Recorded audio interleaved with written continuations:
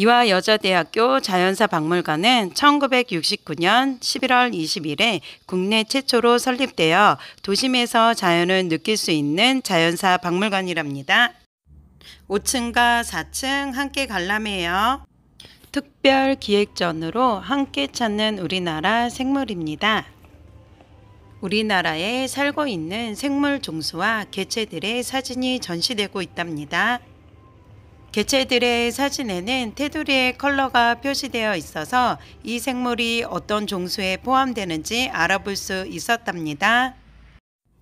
상설 전시실로 식물, 곤충, 무척추 동물, 척추 동물, 광물, 암석, 화석 등 각 코너마다 다양한 표본과 설명 그림이 전시되어 있답니다.